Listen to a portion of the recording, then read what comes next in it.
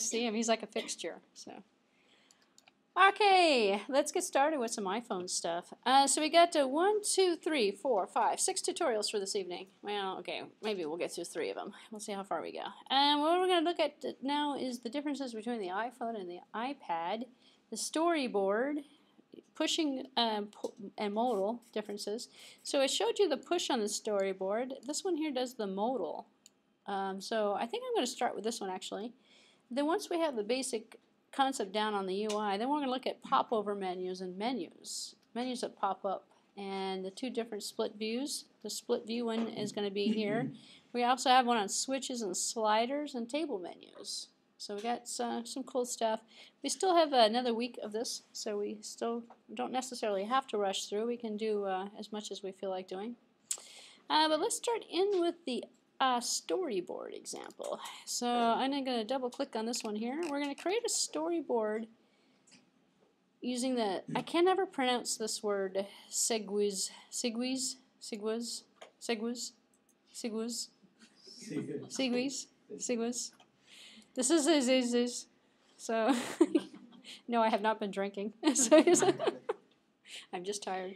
Using the, the modal storyboard, uh, we've done a, modal is the difference here. We've done a push, one screen pushing to another, I'll show you that in a few minutes. Um, so let's go ahead and create a brand new um, Xcode 4 project. This is an older tutorial. We can create one uh, of any current version. It's also supported. So just create a new, this is a 4.6 actually, just create a new project. And uh, flip, make sure you're on the iOS side. Single view application works just fine. Go ahead and click next. We do want to click on the use storyboard and let's just see if we want to make this universal. Um, nope. Start a new one here. Use the uh, iPhone on my screenshot here. So I'm going to do an iPhone application. You can do a universal, an iPhone, or an iPad. It works all the same way but I like the iPhone and the simulator because it um, it, make, it, lends itself to a better implementation for demonstration purposes. So let's see, I got it on iPhone and I'm going to use the storyboard and I'm going to put a title in here. I'm going to call it the Sigwages. There we go. I don't know, I probably didn't spell it right, it's okay. Sigwis. Sigwis? Sigwis. Say that ten times. So we have the main storyboard over here. Uh, so most of what we've been doing hasn't been using the storyboard, so I figured uh, I should show you some storyboard stuff. Uh, it's not too much to it, actually. So if we put a button, actually I'm going to deviate slightly from the, from, and I'm going to come back to the tutorial, but I'm going to deviate slightly to show you something that we have been looking at so far. But what we've been looking at is limited. So there's a couple of different ways to get, because here's the storyboard here. In fact, what I can do is grab another view controller and stick it out here. Now I got two view controllers. And we know that we can do this with the table view controllers and all the other things. So we have a couple of different choices in terms of connecting the two views. Because we want to put, and I'm just going to deviate a little bit, put a button on one of them, click the button, go to the other one. So I'm just going to drag a UI button over here. And I'm, imagine I'm not touching the view controller. I'm just having the Sigwas control themselves. Oh, I almost said that right. So I'm going to go here and go to next. And then on this one over here, I can put a little back button in here and go back to start. So I've got two little buttons on here. And when I right mouse click on the button itself, it opens up a little window here.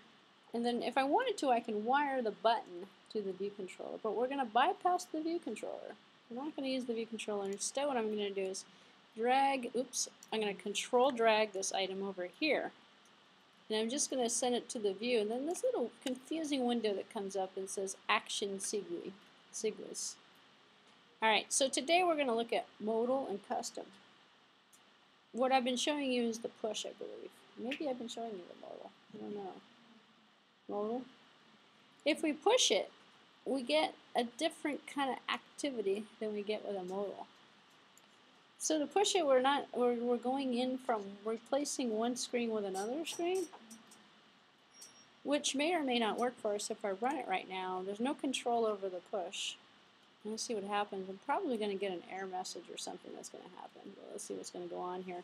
requires a lot of programming, or it does require not. I mean, not any programming, I should say.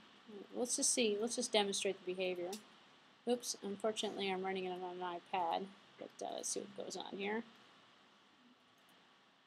Oops, I'm running it on my iPad. Uh, you're not going to be able to see that. But uh, I see I get this little thing that started up here, a little thread that comes in here, and then I get this little, if, if I were to run it, let me take it off my device and put it on the simulator here. Stop it here. Stop.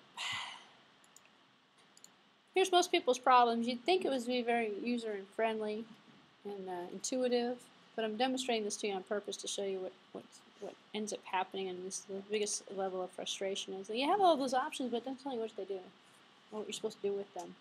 And there's a couple of things people do. They, they try to do the push, and the push actually does work in certain situations, but it's not going to work here. Instead, I'm going to get this that happens to me.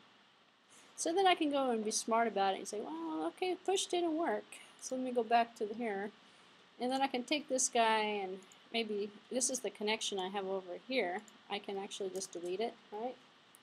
And then I can take them and drag them over here and say, well, what about modal? Let's try that one out. And then if I run this one, I'm going to find out it actually works, and I can go back here and bring it back to forth. But I don't have any control over it through the view controllers. All I got is this one going to that one, going to this one. And it's the, and this one should work, actually. So what we're going to do is build it the proper way. Up, here we go, back to the start. Back to the next. And in this particular thing, I have it coming from the bottom up on the animation. So what we're going to do is build one that actually has a little bit more control over it and that flips them horizontally instead. So we're going to actually you know, add a little bit more stuff to this. So that's the theme of what we're working with to tell you how you're supposed to be designing it. so we're going to run through a proper design. Does that work? Yeah, just demonstrated it works just fine. It's not necessarily the best overall for building an application to make it more functional. So let's take a look at what this is going to have us do. So we're going to make sure that we use the storyboard option. We did that. Okay, so we're going to click on the main storyboard. We have already done this actually. We're going to drag a new view to it. We just did that. Adjust the two view controllers until they're side by side. Change the colors and place a button on each one of them. So this one says uh, second view, this one says first view. So I'm going to change the background color so I can easily see which view I'm on actually. So you don't necessarily have to do this step, but uh, I'm going to put here go to second view. And then over here, I'm going to this one here uh, green because I like green. There we go. I should ask, that should be an, a test, that should be a test question. What color do all the backgrounds get set to? green. Back to first. The answer to that question would be green. and what kind of button action is mostly used? Touch up inside. touchdown. Actually, I flip back and forth. I got a touchdown. What do I like to do first? The user interface. No, those aren't not questions on my programming style, although I keep mentioning them over and over again. But it is funny. One time somebody says, "How come all your backgrounds are always green?" Because my computer's green. It just creates green backgrounds. Yeah, let's make this lively up, liven up a little bit in here. All right, so now we're going to add a new view controller object to the project. Okay, so now I'm really going, but we just saw it work.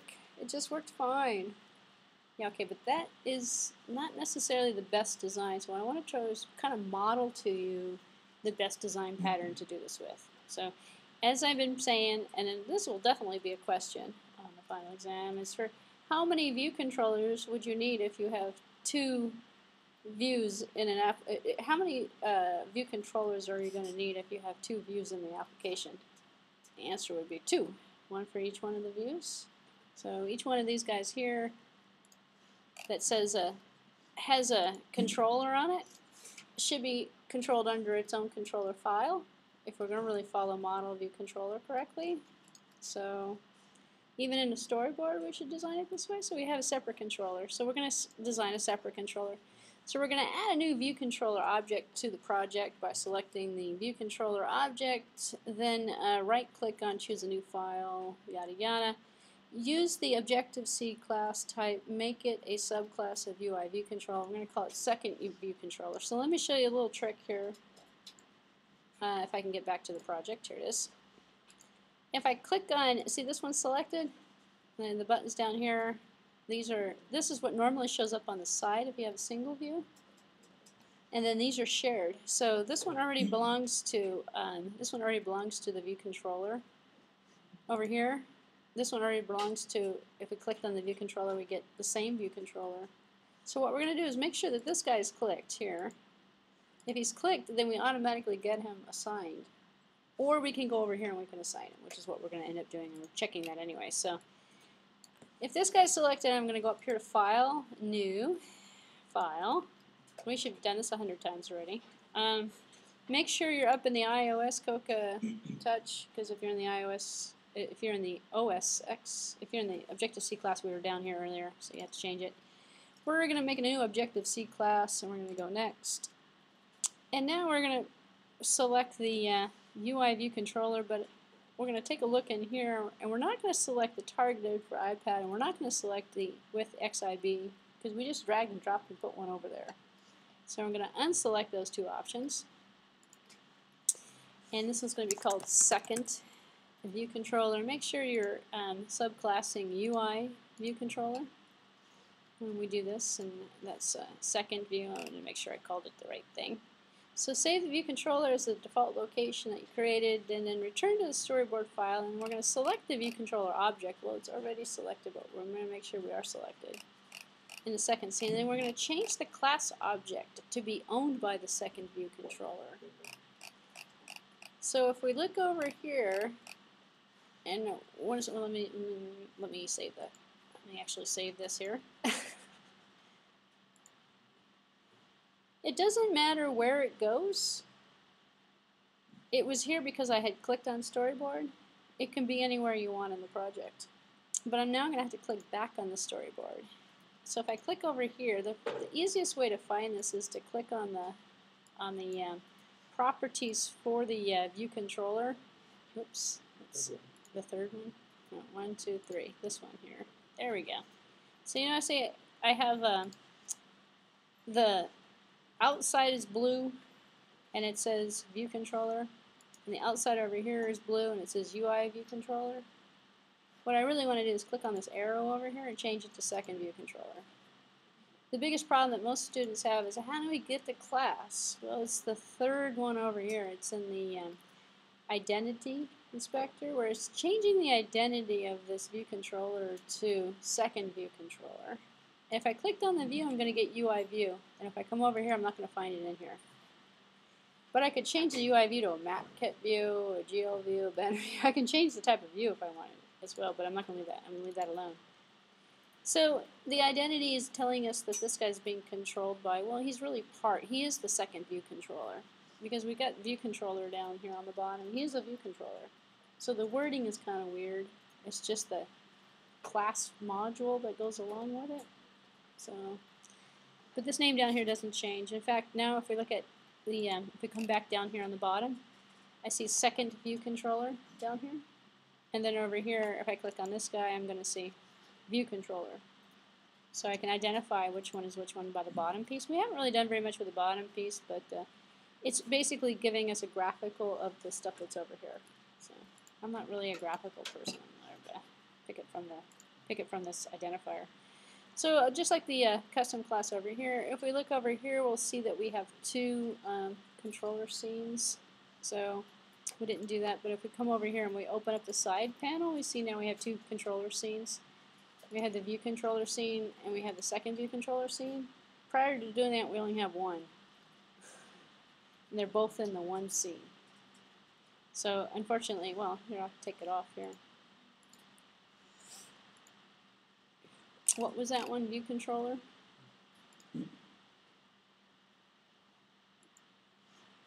Hmm. Hello. View controller. View controller. View controller.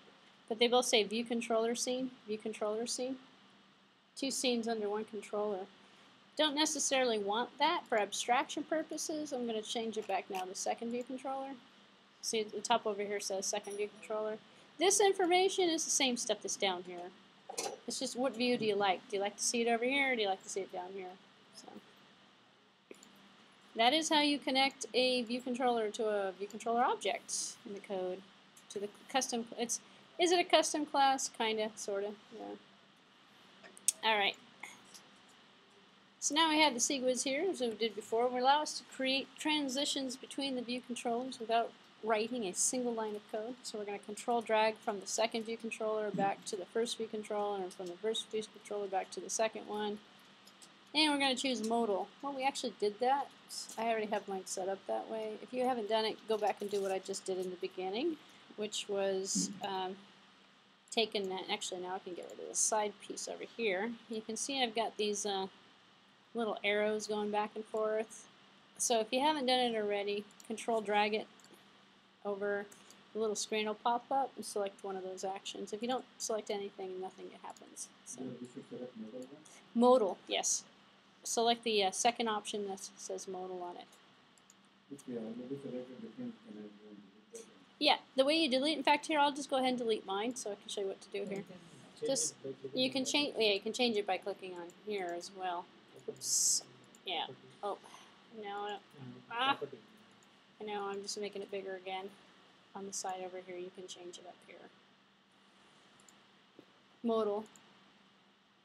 So if you, I deleted this one already, but uh, if you haven't deleted it yet, you can click on it, come over here, and then you can change. We're going to change the identifiers too, but uh, the modal is the one you want. So let me put this one back.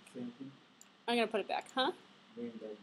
Yeah, same thing. So you're just pressing the control button and you're you're not going to the button, you're going to the entire view controller and then if you select modal. If you click on it, it brings it up in the side over here.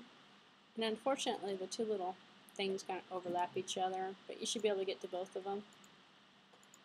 And they're both kind of set. Uh, you can't, can you move this? You can't move this. Yeah. But uh, you can kind of sort of see how the uh, connection are supposed to visually look. Oh, there we go. I can get to both of them. There we go. All right. So let's see what else we're supposed to do. Uh, so when you're finished, it should look like this. And uh, it kind of does. So now we're going to select the SIGWID option in the first scene and change its properties as shown here. We're going to create an identifier. So this is the part that a lot of people don't do because now you can actually talk to the screens. So you're, I shouldn't say it works. There's no problem with it, but it's limited. You're just going to get default behavior out of it. And then without creating the other controller, you're going to have some really obscure code that's going to be all put together. Like all the scenes are going to be on the same controller, which if you have like 20 scenes in this thing, it's a storyboard. You might have a lot of scenes. It's going to get kind of complicated.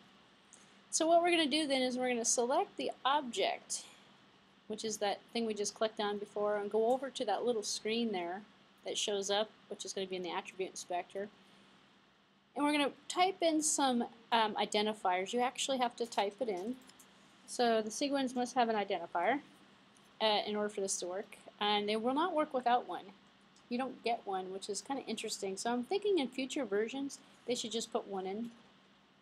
But you notice it was blank.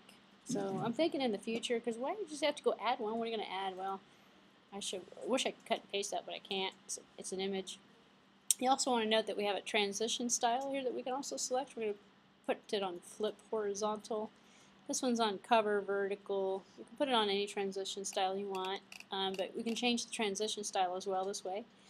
Now when we select the scene, we're going to have a second one and then a first one. So on the identity here, we can go a second. And this is going to be what? Which one is this? This is a. Uh, this is the first. First. First. It doesn't really matter what it is. Um, so if you change, the, the, the idea is if you change the flip horizontal and you don't put something in here, nothing's going to work. So it does actually work without it which is kind of interesting because they recently let it work without it. So this is going to be, is one called second or first? First. This one's called second. Second modal. And I'm going to put this one on the uh, flip cross, I'm going to cross dissolve it actually.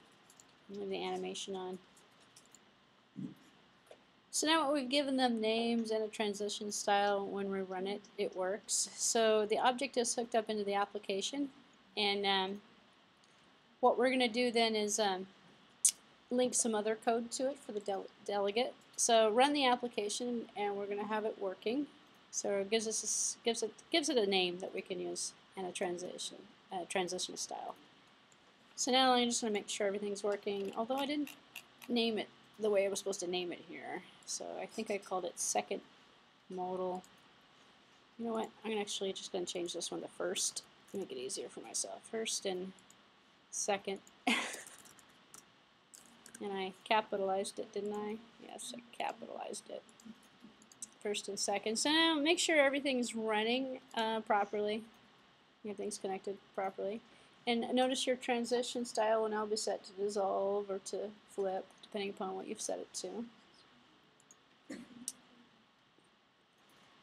So we can set the, um, oops, where are we going? Here we are.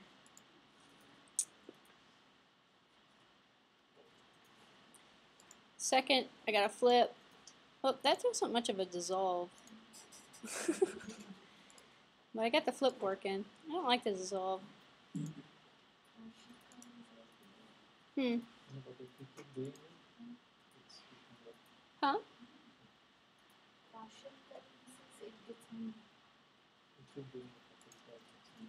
The push one? the transition. There is another option called partial curve. Partial. Oh, okay, hold on. It's good to see that uh, This one gets hung up. Partial curl. Let's see. try for both actually. Oh, I put it on the second one. Yeah, both If you keep doing it on at some point, it's getting like it's not a perfect. it's- like earlier when the horizontal wasn't being set correctly. Did yours break? Let's see if I can get mine to break. Oh, cool! Yeah. Eventually it's supposed to break. look at the shape. and what happened with that. Oh no! Look at that. Yeah. Where's the button? You know, the button's getting covered up. You're right, it does crash. It does crash eventually. Alright. So now we've played around with the transitions here. Let's go back to the. Yeah, it's not replacing the view, it's adding the view. So, I'm going to take this a little step further here. So the main storyboard object is hooked up into the application at the UI application level. Any view controllers on the storyboard are therefore accessible via the SIGWIZ without writing any code. Experiment with the different styles as an exercise. We need to do some work during the SIGWIZ, such as, for example, setting properties on a view controller that is about to be displayed. So we can use the view controllers to set up, what we're going to do is, uh, actually, you can set it to nil on the view controllers. When the first one unloads and the second one loads, you can reset it, set the objects to nil. If you have stuff in it, probably will help it run. I was just thinking about that. Alright, so right now we can actually behave, because we have two different view controllers, we can unload stuff and load stuff when the second view controller loads versus the first one. Because remember when your app comes up, you had the view controller that uh, on view load and all the, all the different transactions, transitions that can happen with the life of the view controller. So now we can program it so we can prepare for the sequence and sender and use a de delegate method in the UI view controller to um, prepare the display that we're going to set up. For example, you put in your telephone number and your address and stuff and you want to address it to something, and you can take all that information and pop it into the second screen. So here we have, um, we're going to set the color of the second view controller.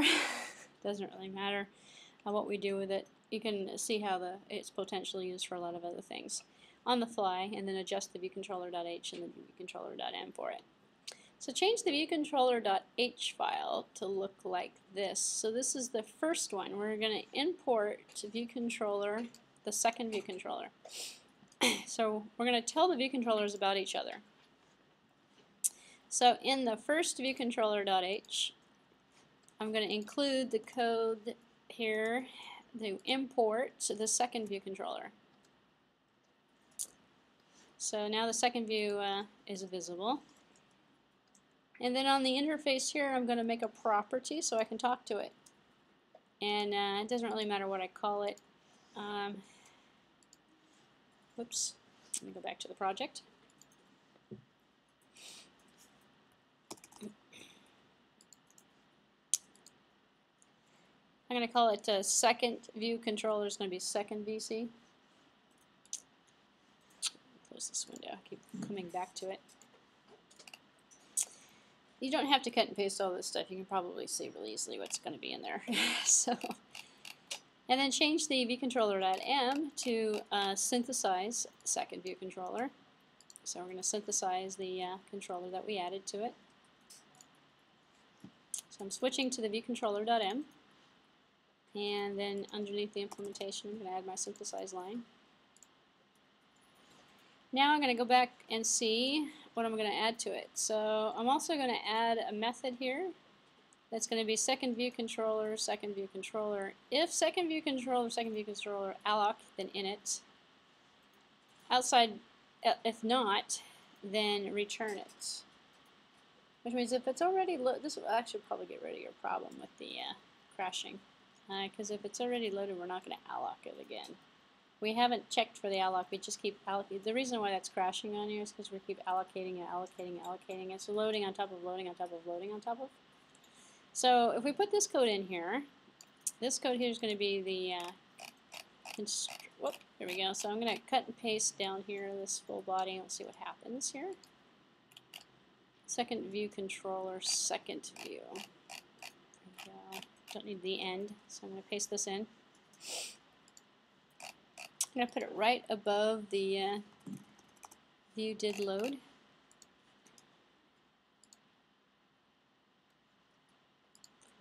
And I can see I've got two methods I'm putting in here. So the first one I talked about a few minutes ago here with the second view controller. So if it's not there, create it, otherwise return it. Give it to me. Otherwise, then prepare for the SIGWIN. So the storyboard SIGWIN here is going to write to the ID of the sender, UI view controller. So we're going to make a UI view controller object for the destination view controller. And we're going to set the destination view controller equal to dot background, which is the destination that we're going to send it to. So it's UI view controller, which is going to be equal to a UI view controller, the SIGWIG, SIGWIG that we're going to send it to. And then the destination controller, dot destination controller. And then we're going to set the view background color to blue. So hopefully uh, if your background, second view controller is not blue, uh, hopefully uh, change it to another color so it's not blue so we can sort of see what happens here. And uh, that's really what we're going to do here. So running the application from one window is going to send the other one to blue. So in the header file, we imported the second view controller. We didn't do anything to go back to the first one. So we could do the same thing on the first one to go back um, and change it back. So in the implementation file, we lazily instantiated the property for it by overriding the getter. We set the prepared for sequence sender method to get the destination, sender's destination view controller object. Set its background, and then set the object instance in the, in the UI storyboard to its new instance. Very important properties, the destination view controller and the source view controller. So these properties are both the ID that must cast from the UI view controller subtype to access their properties. So let's just take a look here. I want to make sure that I didn't need to use, no, destination view controller, that's good. Uh, no, I should be in good shape. So I'm going to run mine see if it sets my background to uh, blue. Also prevents, well, from 1 to 2, it prevents 2 from opening up twice. If we already have it allocated, it won't open it up again. So I can put the same code in to go from 2 back to 1, if that's where it's going. So now I got blue.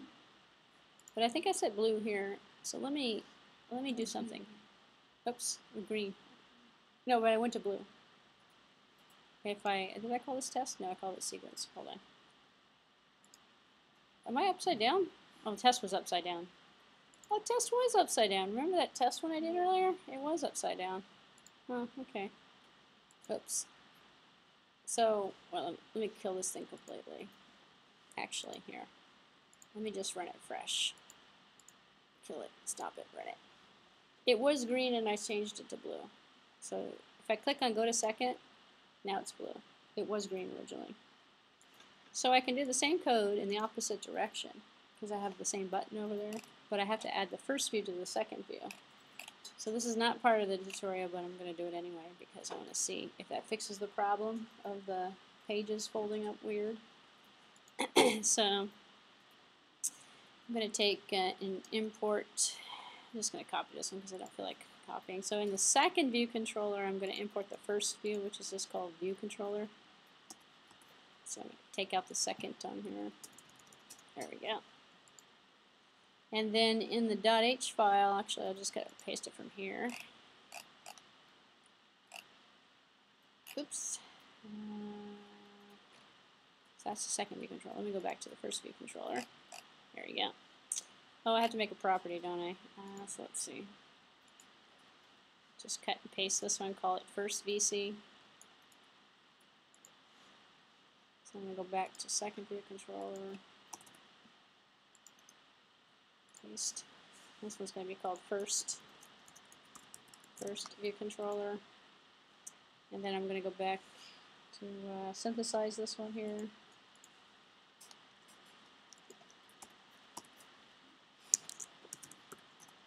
Uh, first view controller. And then I'm going to add I've got the initialize with nib in here.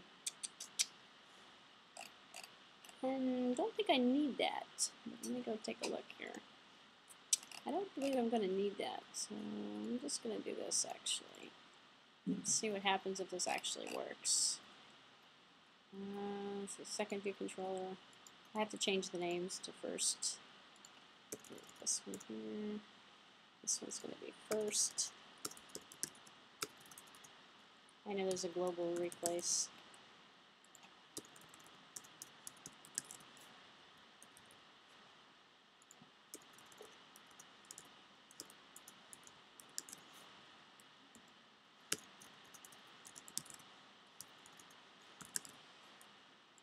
And change the alloc to uh, alloc the view controller. And let's take a look at the messages here. Incompatible pointer type assigning second view controller strong from view controller. First view control view, view controller, view controller. Am I in the second view controller? I am. Let's get rid of that because I don't like that in there either. Yeah, let's go back here to. Hmm, could make it weak. A second Oh, so second view controller, you're right. Strong. I was going to change it, but you're right. I made the wrong instance here. Um, first view controller. Is it throwing an error? I think it's because of the init with nibs in there. The, uh, let's take, uh, let's see. Let's just see actually, because I'm not getting anything here. So let me see what the error is if it does throw an error here. This is, uh, this is the view controller. M. This is the second view controller. So I'm not getting, uh, let's see, this one's going to hold back uh, destination. This is, the view controllers are strong, which means they're not going away. Um, let's see. You say we get, we're going to throw an error. Let's see what the error is actually. Build failed. Semantic unknown view controller. Uh, UI view controller, first view controller. Uh, that's not going to work. Because, oh, view controller, view controller. Oh, alright. Unknown type second view controller inside of view controller. Well, okay, well, we'll leave it alone. We didn't add second view controller in here. I did add second view controller. It's because the other one is a. I can tell you why it's not working. The first one is not initial. It's it's a, the it's the way that init with. Here, hold on a second. Let me pull out the. Uh, you tried it? Did you take out the init with nib? So. I would say that it has probably something to do with the memory. So. Let me take this guy out actually. Let me take this one because it's already initialized actually. So, uh, that one's not going to do it either, is it? UI view controller, view controller, second destination view controller. Let's try that one.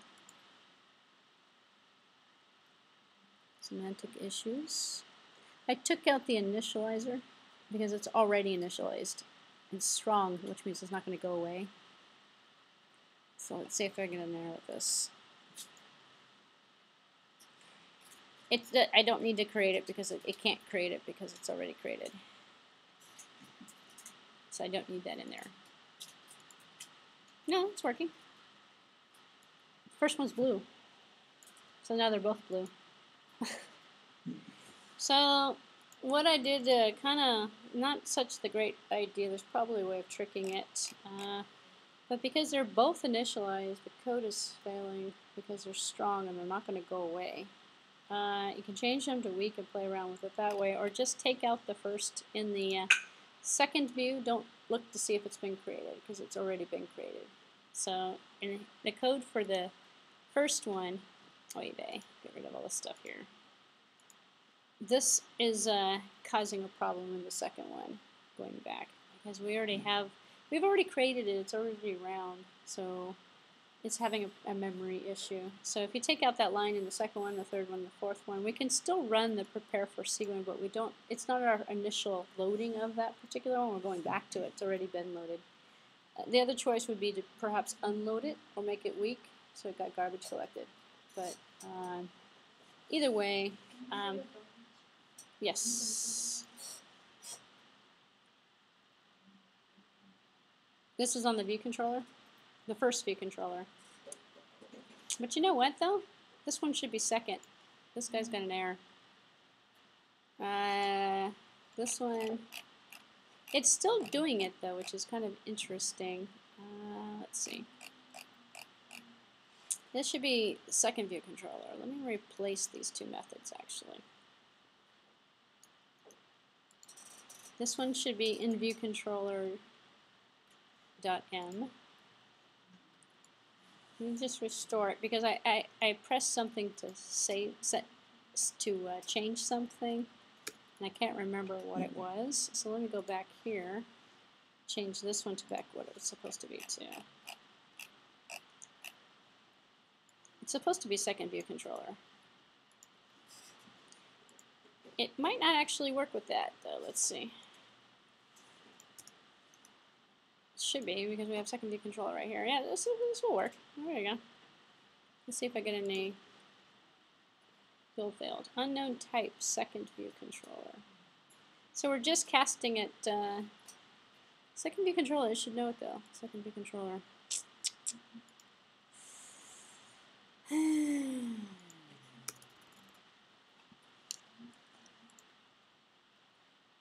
We're making a property of itself, which is kind of funny. It actually does work though.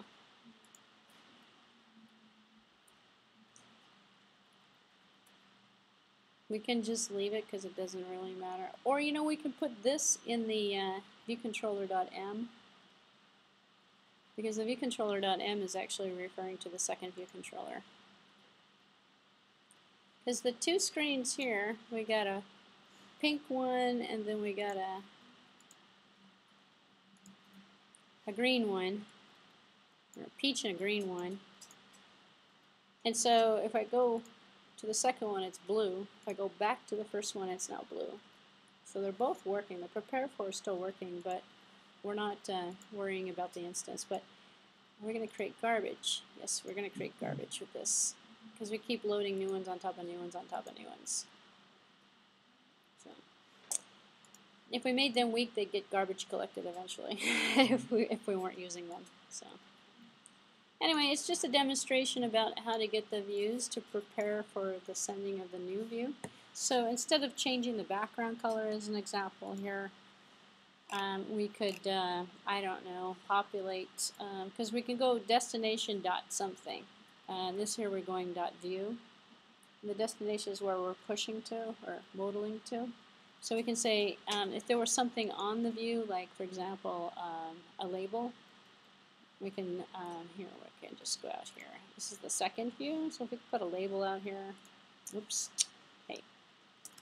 Label. If we called the label something like the label and wired it to the second view controller. Because it's supposed to find the controller. So actually this is a good experiment to see if this is going to work.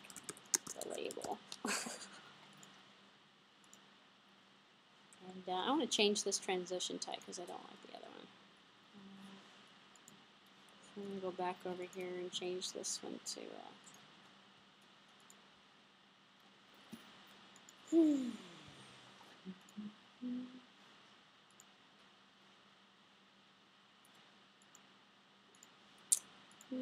Here we go. So the first one is a flip. The second one is on a. I'll just do a flip for both, so I can see the flipping work. We call that? The label. So I'm going to go back to uh, the first view controller into the .m file here.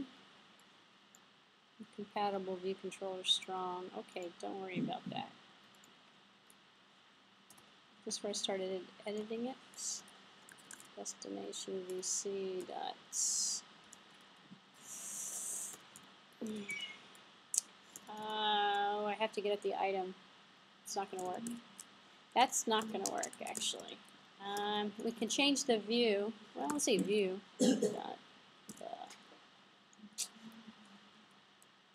nah, no dice. Um, I'd have to put it. Dots. No. Oops. No, I don't know if this is going to work actually. Let's just see. I'm sorry? Yeah. What I really wanted to see, but I'm not typing this correctly. Uh, let's see, text.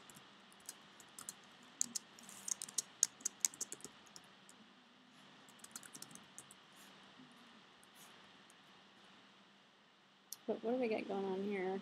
UI control, UI control. Let's see. Property, the label.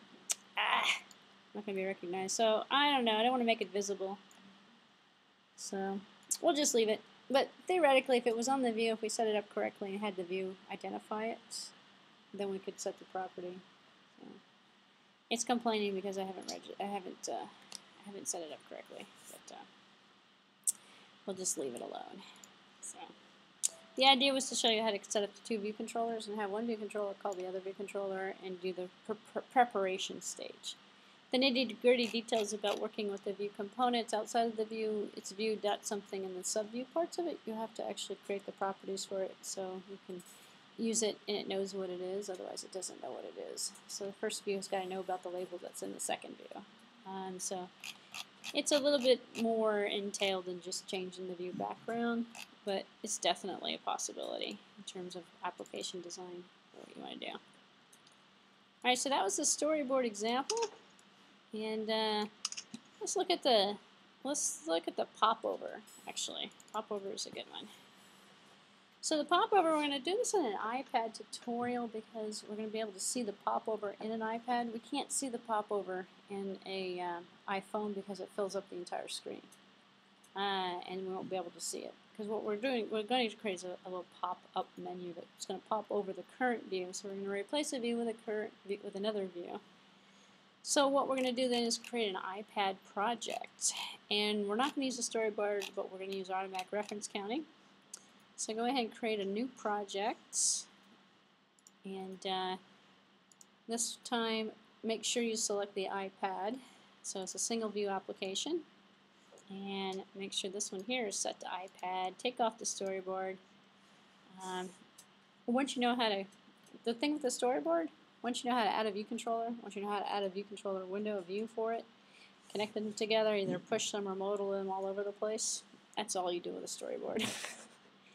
and what you can do with the modal is essentially just prepare the new view to see the next view, which is how you're passing, that's how you're going to pass the information back and forth.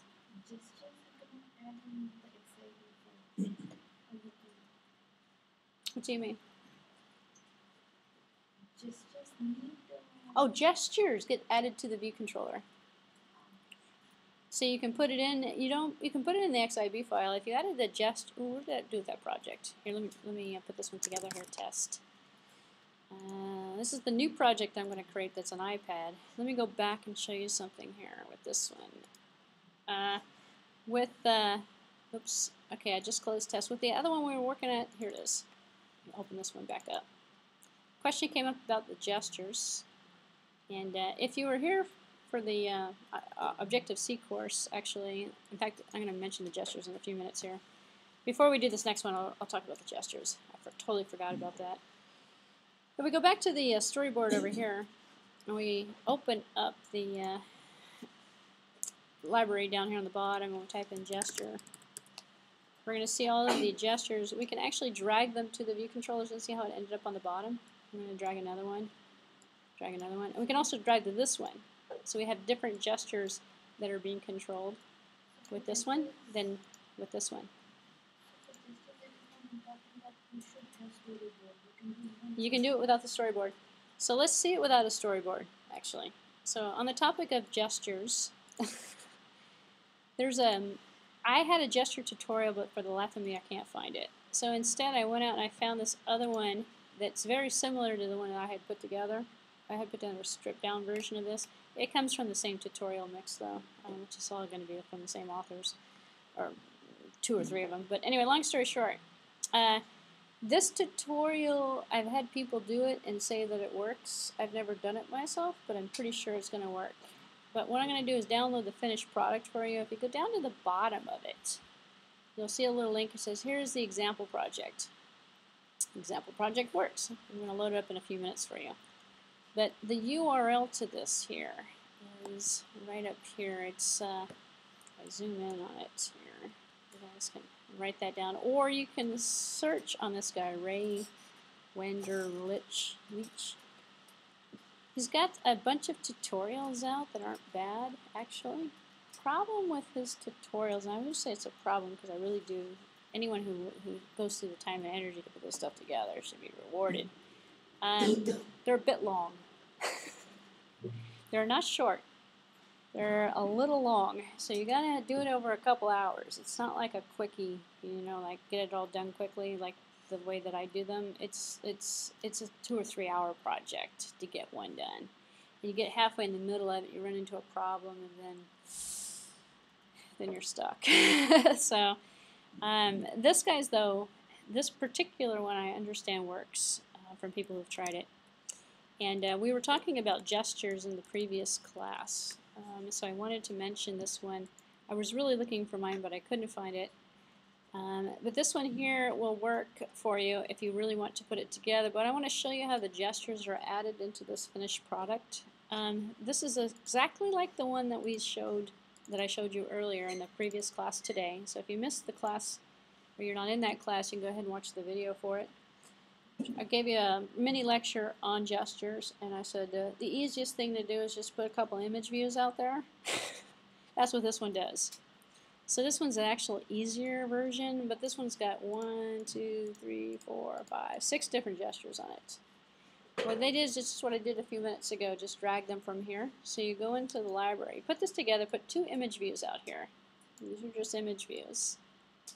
And uh, you can see them up here actually. These are the two image views. And then drag some gestures. So this is a good model what to do here.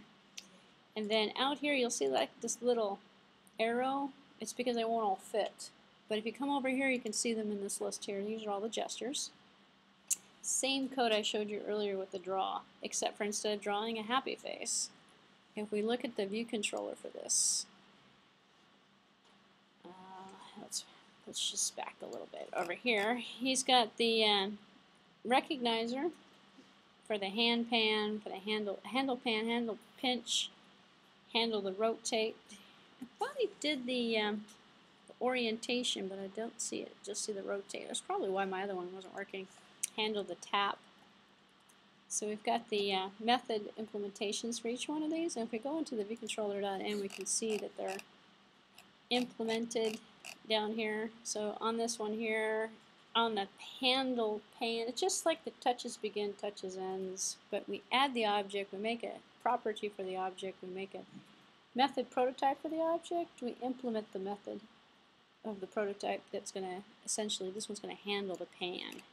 So if we go back here and refresh your memory here, we got these, these here are wired to these events. So if I go like this, click here, I'll see I've got this one, this one, this one. Well, they're all hidden. The first one you can see because it, it highlights down here.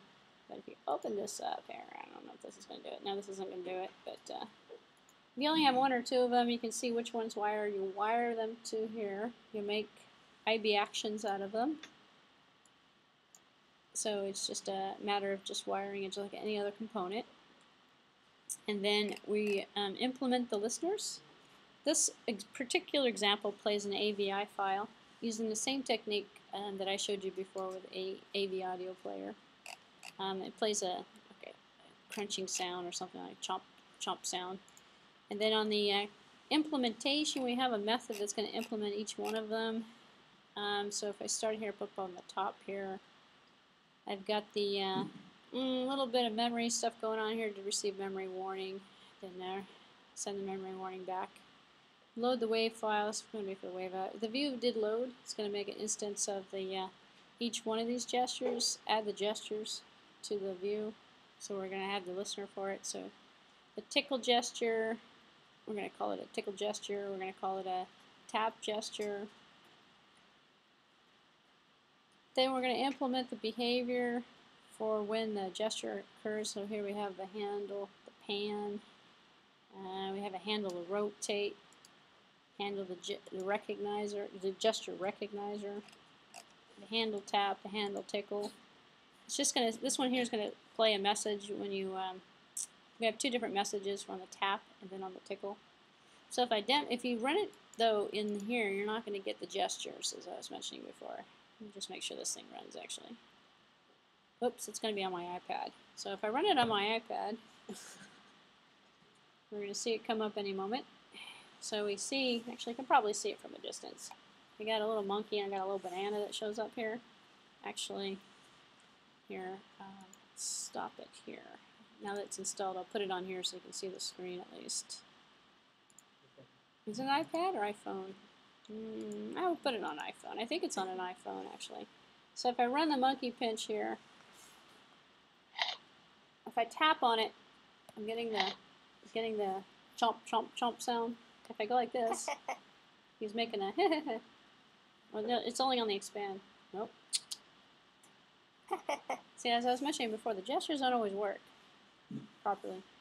So it doesn't matter where this guy is. You just press on him. But if you press out here, nothing happens. So the gesture objects themselves were attached to the image views. So just as before when we had the draw image that was on there and you made it bigger, make it really big actually. this guy though has the, the limit of the size of the, uh, so it's only going to go down to the size of the image view. So, now I got a small, I got a big banana and I got a small monkey. But uh, you can kind of see where you, it, oops, the banana's too big now. Let's make the monkey bigger. Oh, so now the monkey won't stretch. So now I got a little, I got a little problem here. Oh, no, I got the monkey bigger. There we go. Monkey got bigger. But the sound doesn't always come. He's supposed to be going, ha ha ha. He's not going, ha ha ha. Isn't he supposed to be going, ha ha ha, when I pinch him? Yeah. But look, he rotates. So this is the rotating. So I can rotate them. And then on the uh, orientation change, so that's a bad design. So in the previous example, we looked at the orientation change and the image. This does not have the code for the orientation change. This image should have changed, but it's kind of skewed funny now. If I put him back here, I can see he's skewed again because he doesn't he doesn't scale well to uh, orient, orientation changes. So he's gonna look really weird. Oh no, no, it's normal now, but this guy's off the screen. So so you can do it on the rotation for the orientation to to change the images, but it's really not much code actually. It's essentially um, a matter of putting. See here, you can't do anything. I can move them, but I can't stretch them. And down here you can see what's going to go on here, your uh, monkey pinch magnitude, longitude, so it's giving you the location for the move. Yeah, actually the audio's working. I thought I had him laughing a few minutes ago. So I don't know if this guy is going to toss. Yeah, he will toss. Oops. But he's tossing off the screen. Can't catch him. Anyway, that might make for a bad game. so, can't catch the monkey. He's going. anyway, I have one that just has a monkey on it. It's a tutorial, and it's a stripped down version of this one. But it's very similar to the one that had the happy face on it that we did earlier today. But uh, I've had some, of the example works, the one I downloaded. I downloaded that fresh from this website. So um, I can can't guarantee it, but I have uh, I have heard that this tutorial works. If you're interested, just go follow through his tutorial. It's So step by step getting started. It's working off of an older um, API though, so the difference is that when you work with the XIB, you'll be dragging it in the opposite direction. So, and some of the stuff is enabled by default now. So some of the default parameters changed on it, but uh, it's not too bad. And he explains the code for you as well. So. Anyway, if you have the time, that's your uh, your gesture stuff. It's su supplemental to the stuff I gave you earlier today. So. All right, back to the tutorial that I started. a midstream here. Popover, yes?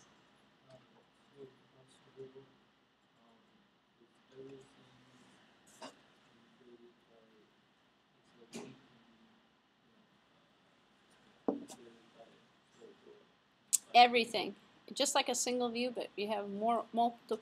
The difference with the storyboard versus the single view is on the storyboard you have multiple view controllers that you can put out there, and they're, they're it's set up so you can have multiple views, one leaning to the other, and each one of them is in its own separate controller.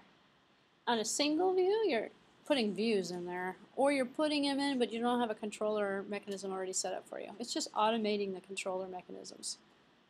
As an example, when you click in here, actually it's not bad comparison. So if you make some, for example, if I made another project here and use the tab application, I'm going to get a variation of the storyboard, but I'm going to have a tab controller.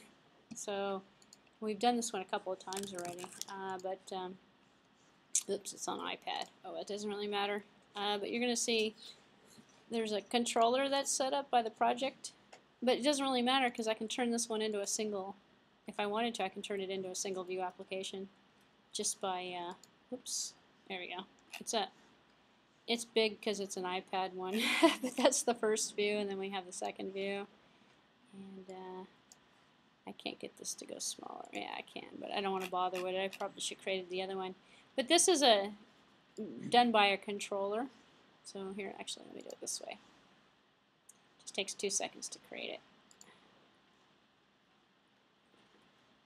So what I wanted to do is create a iPad, phone because the controller looks different. So I'm not creating the storyboard. If I created the storyboard out of it, I'd get the controller with the storyboard combination. But I still have, this is the tabbed controller, but I still have the second view controller with the first view controller. And then I have the two XIBs. Here's the first one. Here's the second one. And I have the controller. So it's it's it's being run by a tab controller. If I do the storyboard option, I see it connected together. So this one here versus, which is the same thing we get with the uh, single view. So if I do this here and I click on the storyboard option, which most people would do actually, you'll see them visually connected. So I'll just do this here, this, and then click on the storyboard what I'm going to see is now them physically connected. So I have one instead of the two XIBs. I have one, it's called storyboard, and here's my tab view controller, tab bar controller, and then here's my other two. These are the same windows, but I didn't see them connected together. So storyboard is actually kind of a nice feature. It's only been around since like 4 something, but uh, allows you to visually kind of see everything together. And then you can still add another view controller to it. You can still do the same thing with the non-storyboard version of it. All the capabilities, in fact, you can take a non-storyboard, turn it into a storyboard looking one. but you're going to have a bunch of views. If you don't have the storyboard one, you're not using that, and you're using separate XIB files, you're going to have separate XIB files. Here, one, two, three uh, separate XIB files. Here you just have one storyboard. So it puts it all together for you. Allows you to abstract out the different view controllers and the different stuff for you too. So it's giving you all the same features. So there's some people that start out with a storyboard and then they start adding stuff to it and they, they say, well, I don't want that to be part of it. I'm going to have this one come up instead. You can mix and match tab bar controllers with storyboards with single views, a bunch of stuff. And you can just do it programmatically as well if you wanted to. Alright, now that I've created some garbage here. Uh, what did I call this one? I'll just recreate it. this is our popover example. it's going to be an iPad. So I believe I'm going to go into a single view application and I'm going to select iPad. I'm not going to use a storyboard. And I'm going to call this one pop so I can remember it this time. And let's make sure we uh, did what I wanted to do. Okay, no storyboard, iPad, call it pop. Now we have this single view that we're going to come up with. So I'm going to go press OK. Okay. And then if I open this project up, I have an XIB file here, which looks kind of big. Unfortunately, I can't change the size of this. That's why I don't like it. So, well, it's not that I don't like it. It's just hard to work with on my small screen. So I'm going to put a label on here, oh, put a button on here. So now we're going to add a UI button, and we're going to change the title to uh, Show Popover. And we're also going to change the color of the background if you want to. Finished product looks like this. So let's go ahead and do that. And then we're going to wire the button, and it's going to be called uh, Show Pop Over. So we'll wire to Show Pop Over. Whatever you wire it as, just make sure you remember it. So a round rectangular button, stick that out here. Show, oops, show pop over. And then I click on your editor, go ahead and wire something on this event here. So in, uh, on the exam, just as an example, I might just go, you know, what which of the following are events for a button? And give you like um, touchdown, touch, no, the common ones, touch up inside, or one that doesn't exist, like touch behind, or something, or I don't know, maybe not, I mean, or something that sounds, it'll be obvious which ones, if you know that, if you've seen this menu before, it'll be obvious which one is going to be like bad. So like, um, sender, touch me now. Like something that would not be in this list. So, so I won't be cruel and say something like, "What about editing changed?" I know that that was a button option for this. That's an event option. How in the world would editing change be a sent event from a button? I don't know. Maybe if you edited the button image or something? I don't know. So let's just do a touch up inside like that one. so let's just do, uh, but it'll be obvious which one is not, uh, which one doesn't belong. So show popover is going to be what we're going to call it. All right, probably going to ask you a question about the, what's ID type. What's what's the type ID? What is the type ID? Actually, that's a good question. It's generic. Yeah. It's everything. It's an object type. it can hold anything. So.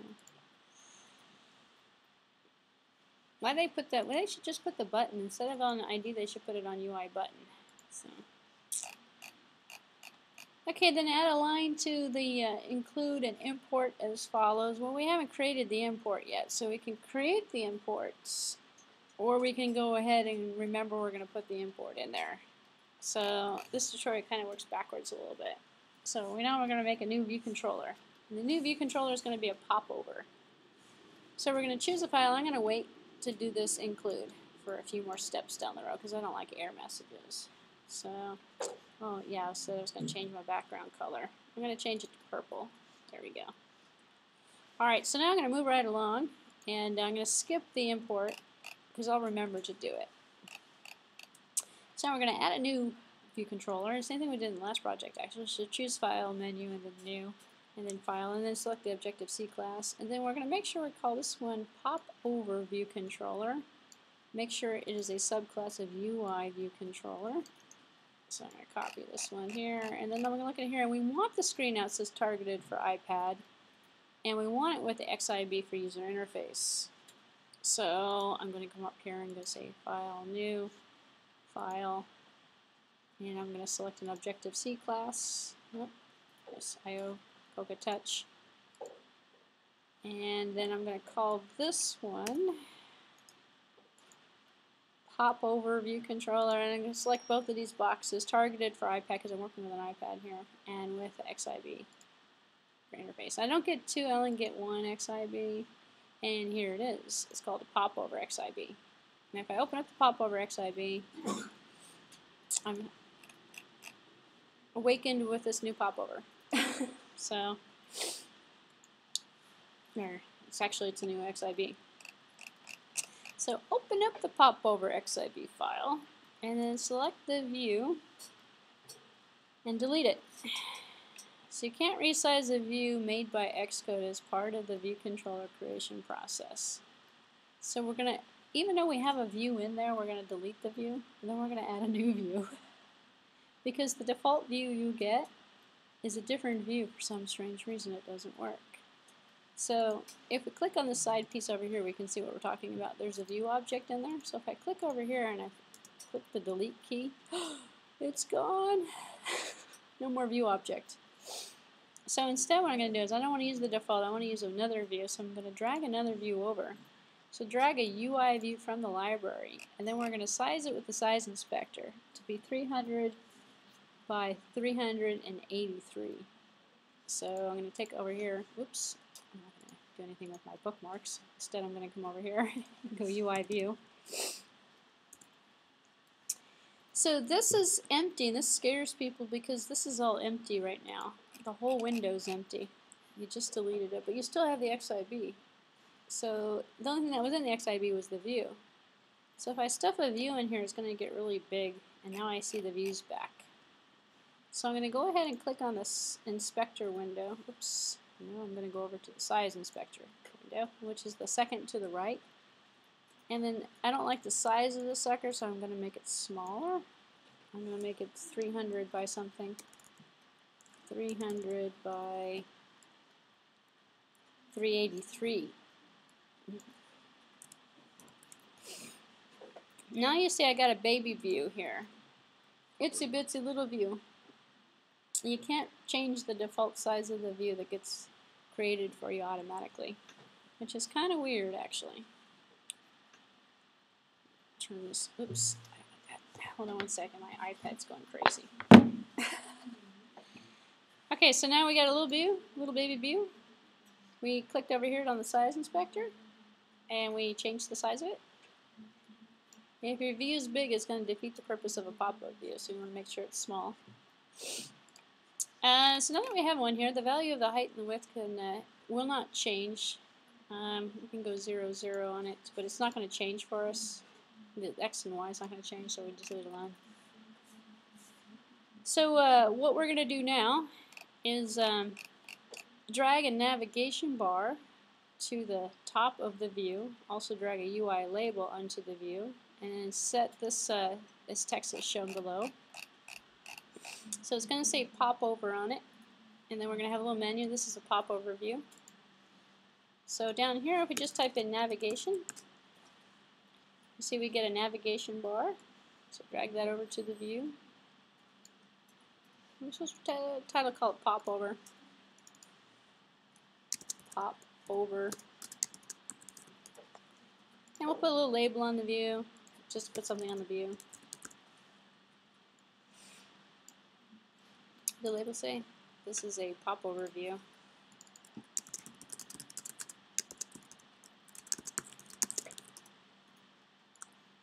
A little pop overview on the view. Alright. Also set the background color of the view. Alright, we'll set the background color of the view. So I'm going to change mine to green. Go light green, there we go. Alright. So now what we're going to do is uh, set the file owner object. We don't, because we deleted it, we don't have the connection between the view and the file owner, which is going to be a problem in the long run. Because when we run it, we're going to get those little really weird messages that come down, and it's going to debug the message that's going to come out at us. So now we're going to right click on the file owner object, and then we're going to and then we're going to drag from the circle to the right of the view onto the view um, to the new view that we just created. So it sets the view to interface builder as the pop overview controller object. Uh, if we admit the step, the view controller cannot display the view. So the file owner object is here. File owner. If we right mouse click, what are we going to set the view? We're going to set both of them. We're going to set the view. View to the view. How do we know that's the file owner? If we go into this object itself and we look at the file owner, we see that what we just did was wire it. Because what ended up happening here is that over here on the site, right hand side of the screen here, if I click on the view itself and I go into the um, click on the view, and I click on the, uh, oh, that's the view. There we go. No, that's the navigation view. I could click on the view. There we go. If I click on the file owner, I see its popover menu. What we did was this file owner is the popover view controller because the when we created it before we deleted the view, that view was connected. This view's not connected. We could mm-hmm. deleted the one that was connected. We put a new one on there. Now we're taking this guy, we're right mouse clicking and we're connecting him. By the same thing we the same way we would connect the label to the viewcontroller.h, we're connecting this to the file owner. The file owner is pop overview, that class we created. So now we have the view set correctly and we're doing the view. We don't necessarily need to do anything else on here. Looks like that one is all we need. So here's the file owner. View should be switched to view. Not the, so if you've done it to the label, you're in trouble. you want to make sure it says view on it. And then you can go ahead and close that window when you're done. Now when we hit the editor, we're going to get this guy that comes up automatically for us, which is going to be our popover.h uh, popover controller file. Now we're going to open up the viewcontroller.m file and alter the file as, as, as uh, shown. Oh no, remove the code and replace it. Let's see what we're going to do here. So in the view controller we have pop overview, pop controller. Uh, let's see, we're going to the .m. You know what, let's just replace it blindly. We'll see what happens.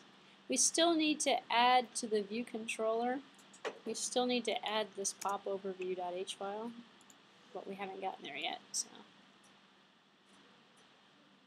Let's see if my cutting and pasting is going to work tonight. Let's see.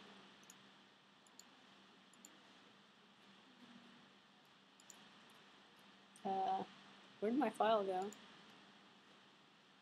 There it is.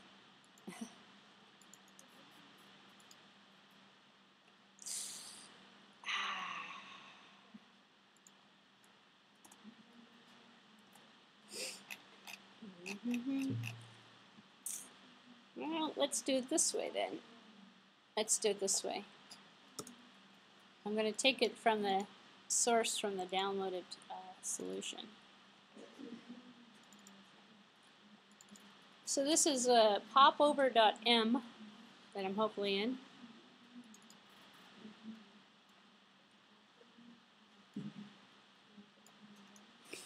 We haven't added the include file, but we're not in the file that needs the include yet.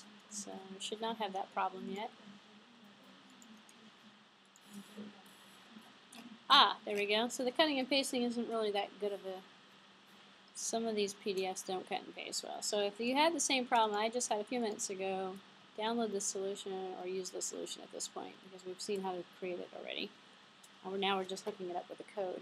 Um, cut and paste the code and put it in there if that's the case, and then it'll solve your problems. Did you have a question? I saw a hand go up. Yeah. Yes?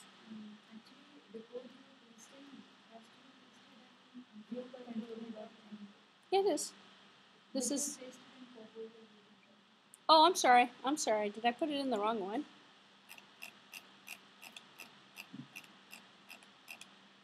Ah, you're right. Thank you. Thank you. Uh, yes, because I'm including the view control. Well, this is interesting. Uh, I did. I put the popover view controller into the popover view. Okay, let me go back to the .m. It's been a long weekend here. I want to replace this code in the viewcontroller.m file. Thank you for pointing that out. So I just did the viewcontroller.h as well. so, I mean the um, popoverview.m.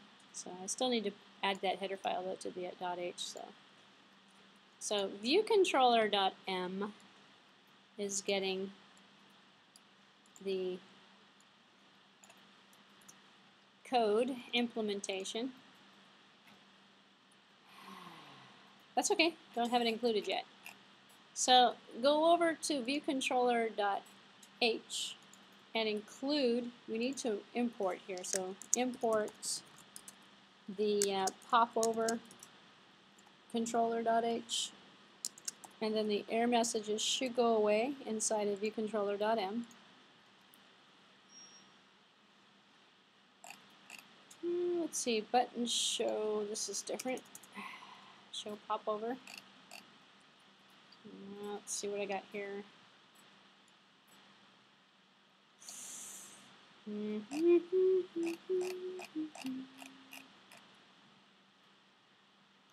Show pop over. What did I call it over here? I didn't um, show pop over. Perfect. I called it uh, button show pop over. So let me change my code here actually. If you called your uh, action something else, need to change it.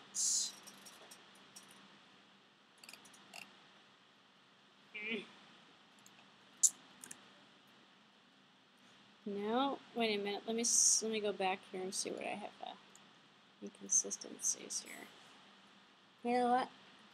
At this point, I think I'm just gonna open up the solution because I messed up the I messed up my. So rather than spending the time to fix what I just messed up with my cut and pasting, I'll just go to this solution here. Yeah, in my viewcontroller.h, I called it. Uh, we didn't. Uh, we didn't create a property out of the button, so we also need to create a property out of the button. So in the XIB file, where's my button? Uh, let's see. In the viewcontroller.xib file, up here on the top, we have to create a property for this as well as the button action. So go ahead and if you want to fix yours, go ahead and add a property button, which I, I failed to do initially. We also need to put in the imports. So we're going to import the popover controller. We're sitting in viewcontroller.h right now. So you need to make sure these two items are done, which I left out, which is why my other one wasn't working. so, and then if you paste the code into the viewcontroller.m, what we're going to get is the implementation. So we've got our two view controllers, our popover view controller, which is going to be controller, and then our UI popover controller, which is our popover controller, a regular controller, popover controller. We've made, uh, in the interface that's inside of viewcontroller.m, we made a private instance because we're just going to use it inside of viewcontroller.m. We've um, synthesized the button show, which is the property that we created, which I didn't create, but that's why the synthesizer was giving me an error. And then this is the method, the show popover button action, and the IB action that's happening with the outlet that we created. That's going to say, if it's there, leave it alone. If it's visible, then dismiss it. Otherwise, if it's not there, create the rectangle. So we're going to programmatically create a rectangle that's of a certain size that fits into the frame. So we're going to take the size and the width of the frame that we're going to set for it, and we're going to create it, we're going to pop it over, which means it's going to show up inside of or on top of the current window. And then uh, the view did load is going to set the controller to allocate a new pop-up view controller automatically for us, so we have it ready to go when we want to use it. In it with uh, in it with nib, and this is the older way of doing it, but it works. In it with nib, the popover view controller, and then uh, popover view controller allocate and initialize it with the content view controller as the controller, and then that, that's pretty much all we're doing to it. Did we put the code in already for the pop-up view? Let's take a look and see how far we're along in here. So that was the uh, information that we were putting into the view controller. If you read through the notes here, it goes through a lot more detail of what I just kind of skimmed over. So run the application in both the portrait and the landscape mode, and we'll see that the popover works. So there's nothing in the code that sets the behavior of the popover. So it expects passing the information from the button frame. So if the orientation is different, the arrow is going to show depending upon where you put it in. So you wonder why uh, it would be a nib name will not work. Well, it's because we haven't set it actually. So at this point, if I run it, there's no code really in the popover. The popover is not doing anything. It's just going to show up on the screen. It's going to show up by the button press. So we're only going to see it in one mode on the screen. Uh, so we actually have to load it on the device to actually kind of see what's going to happen. It's just going to move location of what's going to happen. So we'll see. This is what's called a pop over menu, and it's a lot of work for creating a small little menu, but uh, here it is. pop over menu. So we see our middle menu bar comes up. Now, what this was saying, see how long this is? It's putting it in proportion with the frame. So if I load this on its side, it's going to be shorter. so okay. Actually, let me see. If I load it now up on the uh, my device, I don't know if I can load it twice. I think I can actually. Build successful. So I've got it loaded here, loading up, and uh, it's on the screen here on the top. If I press the little button, then I get it this way. So if I go this way, this should be longer. So it automatically rotates. That's a pop-up menu. Looks so sophisticated enough. So. So we also have another way of doing this where we can actually load a bunch of items on it. Oops, we're going to have uh, problems here. Let's see, which one do I want to stop? This one? I want to stop that one. So let me close this down here. So that tutorial just simply creates a pop-up menu. You can put stuff on the menu. You can drag and drop and stick it on. It actually has a separate controller, so you can control stuff on the menu too. It can be just like any other menu. What's different about it is we set the dimensions differently. So instead of the button actually opening up the same size window, which we probably could have done, and we didn't need to use a storyboard for that either. And it's now opening up a smaller window that we've created. So I have one that's very similar to it, and uh, let me show you what it looks like first. And we'll do that one because we still have some time here. It's going to be the table menu. So I'm going to load the project up so you can see what it looks like. And uh, let's see.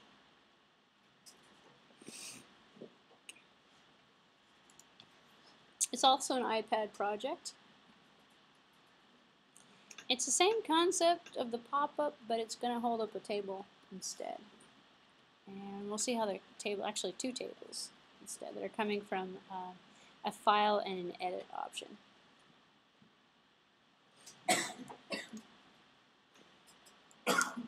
So when we load it up, this is actually not too difficult. We have a little label up here. The label is going to change with the menu item that we select.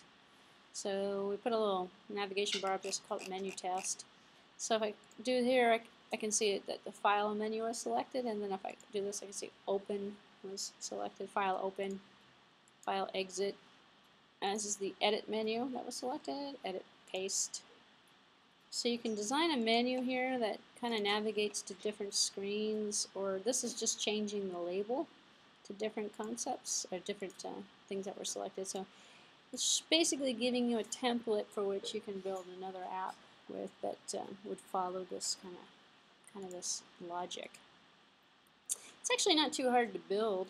Actually, it's pretty easy. We'll get, I'll see how far I can get through it. This will probably be the last one for the evening, so don't worry, we're not going to go through these other three. so, but this one goes along with a pop-up, so it's kind of similar in terms of what it's doing. And it's not too long, although it does say it's 14 pages. A lot of it um, is code. So, in fact, we can build the GUI part of it, and then when we get to the cut and pasting, just open up the solution, and we don't have to worry about it. But I want to sh show you how to build the GUI part of it to see how it's put together, and then the code part of it. At that point, you can stop and just open up the solution, which is going to give you the same benefit as cutting and pasting. Unless you'd like to do it, you can do it completely. So what we're going to do now is the uh, same thing as before. We're going to do another iPad application. This one's going to be called TV Menu. and It's going to be iPad. We're not going to use uh, the template though. It's going to be uh, using an empty application template because we don't want the automated controllers going. So the most important thing here is to create an app that's going to use that empty application template. So go ahead and open up Xcode and uh, make sure we start off on the right foot at least. This one here is the uh, empty application. And then go ahead and click on next. And uh, let me see, I'm going to call this one uh, tabbed something. Tabbed something. There we go. and uh, we're not going to use core data for this one. Uh, we do want to use reference counting and we do want it on iPad. Just make sure I've got that. Uh, yep, that's what we want to do. So go ahead and create it.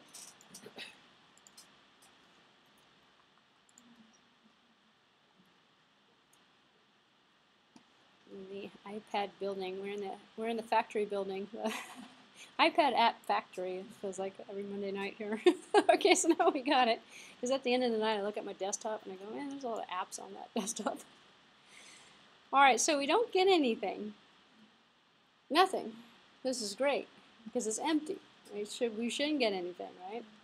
All right, so this is twofold because it's also demonstrating the empty part of it. We did this once before actually for the uh, core data so, so you must now add a view controller to serve as your application view controller. So now we're going to take an empty app and turn it into a single view controller. so we're going to create our own template essentially by creating the single view controller. This is how you're going to do it if you're going to use core data for anything. If you're going to use core data, you're going to have to go with the empty app. Why did they put it in a single view controller? Don't know. But uh, so let's go ahead and in front of the file menu, select file new as shown below. And uh, See, there's a lot of screenshots in this one too, which is why it's kind of long. Main view controller, how about that? Targeted for iPad and use an XIB interface. So we'll go ahead and uh, we should be able to do this on our own now. New file, and uh, we're going to create a Objective-C class, and it's going to be in the Cocoa Touch category. And uh, look at that, it's already it's already selected for me. So I'm going to just type in main view controller. It doesn't, probably could just leave it on view controller if we wanted to, but uh, it's okay. And then uh, go ahead and press create. So now we got a view controller. So now we have a single view controller application. Same thing as the other template, believe it or not. Uh, well, similar. There's a, there, there are some differences. If we look at, actually, if you want to see the differences real quick, you can see it with this here, the init with nib don't get that. We should just get the view control. You can actually remove this and be just fine. The only thing though is we don't have a, it's not connected to the app delegate. So a lot of people cheat sheet it, and when they figure that out, they go, well, if there's not connected, can we just write that? Couldn't we just take that and put that in, uh, in the front of um, all of our view controllers? Yeah. it does work. So you could do it that way. So now that we have our view controller, now what we're going to do with this view controller is we're going to add the app delegate. So now that we have the view controller, let's add it to the app delegate because we're going to do it properly now instead of doing it uh, through the nib. So the app delegate so it knows what we're, doing, we're going to talk about. So open up the app delegate and adjust as follows. Just, oh god, just remove the code. Yeah, yeah. Let's see if this works. I'm going to take this to a certain point, but app delegate.h needs to know about the view controller. So what we're doing, if we take a look at the before and after, I can tell you what changed here. So if we open up the appdelegate.h, we don't have anything in here, we just have the UI window. So after the after we make the changes and we're responding UI responder, UI app application delegate, and it's calling a UI window. So if I put the code in here, I have a main view controller. And the main view controller here, if I get rid of my formatting errors, there we go. Actually, this is not too bad. It seems to have worked okay. There we go. Before I give up completely on cutting and pasting. Just have to be careful. Uh, it's the same um, method prototype as before. It's UI responder UI application delegate. Same as before. The only thing is that we've added, so if your cut and pasting doesn't work, undo it and just put these two lines of code in here. And the two lines of code are for main view controller, and we're going to call it a root controller. And then we have UI navigation controller. We're going to add a navigation controller in there. And the navigation controller is going to be the controller that we're going to add to the UI view. So it's a navigation bar. So to programmatically get at the buttons and to put buttons on it, well, we have to get at it. So we have to make a reference to it. So we made it into a property. So go ahead now, and we're probably going to edit the app appdelegate.m next, which is usually the sequence of going in terms of the stage. So go ahead and open up app appdelegate.m. Synthesize the properties and make the following changes. Well, let's see. Going to take my chances again on a cut and pasting. What we did was synthesize the window, which is already there, synthesize the root view controller and the navigation controller. And then in this window here, the did finished launching with options, we're going to make an instance of this uh, root view controller, and it's going to be the main view controller alloc that we're going to create, and it's going to be alloc with a name, so we can refer to it by main view controller. And then we're going to have another root controller title. It's going to be menu test that shows up on the top. And then the UI navigation controller. So the UI navigation controller is going to be initialized and allocated here as well to work with the UI view root controller, root VC, which is what uh, we just added above. And then we're going to set the subview so that the navigation controller is a subview of the view for the main view controller that we created. And then we have the window make key and visible. It just as basically says, okay, show it now. So let's see if this cutting and pasting actually works. You know, if the line returns weren't working, but everything else is working. So let's see. Uh, whoa. We don't need the application will resign active application did enter the background application will enter the foreground application did become active and application will terminate. If you're here this weekend for the app lifecycle, this is the equivalent for iOS. These are all the different states the application can go into. So we're not programming any of them though, and by default they're all empty, and if you read the notes in there, it tells you what you're supposed to put in there for each one of the states. So let's see if this paste job works. Ah, of course. Let's see. Oh, of course. There we go. Uh, synthesizing it. Let's put it in I just like to clean up a little bit. Synthesize this one too. Good deal. Head success. Alright, so now I'm, uh, as far as the app delegate is concerned, I'm ready to go for that no more to do with that. After creating the window, the UI root, the U, root view, view controller property is instantiated. Is what we did. I just read through the description of all that stuff now. So now we need to make some changes to the XIB file. So open up main view controller XIB, which was the new one that we just created, and we're going to drag over. So drag a toolbar to the bottom of the view so in the lower left-hand corner of the interface looks like this. We're going to add a couple of new UIs to it. So um, first let's add the toolbar. So drag a toolbar, add it to the second UI button. Uh, let's see, change the button. Okay, yeah, okay. So let's just add the toolbar first. And this is in the, um, let's take a look, make sure I'm in the right, uh, main view controller to XIB. It's the only one we have actually now that I think about it. If I just put in here tool, toolbar, I got toolbar. So it's kind of like the navigation bar. Toolbar goes, uh, we're going to put it on the bottom. That's our toolbar.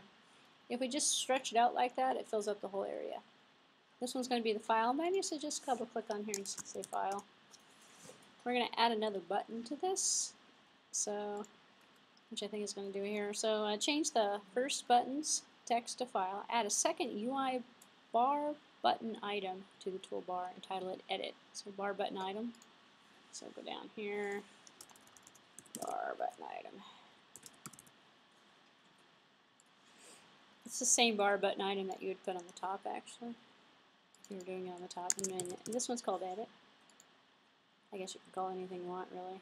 So a file and an edit. And then, uh, so now we have the buttons down there on the toolbar. We're going to add some code for it. So uh, now drag two UI table views to the interface and resize them as shown below here. Set both of them to hidden because we don't want them to be shown until we hit the buttons. So we're going to play a little trick. We're going to hide and show the views. so UI table views. So let's go ahead and drag a couple UI table views over there. So just type in the UI table view. Or how about just table view? Here's a table view. Not a table view cell or a table view controller, but the table view. Oh, it's a big one. It's taking up the whole view. That's what I hate about this. Guess I could move it out and resize it, put it back in. It is room, actually. It's inside the view, isn't it? Uh, Alright, let's just see the size dimensions. Maybe I can do it programmatically. Yeah, we're gonna size them program. We're gonna size them using the editor tool. Ah, okay. Oh no, drag the UI label. No, that's a label. Oh, okay, so let's just make this smaller here. I won't wipe out. Wipe out. It is actually smaller. There we go. It is smaller.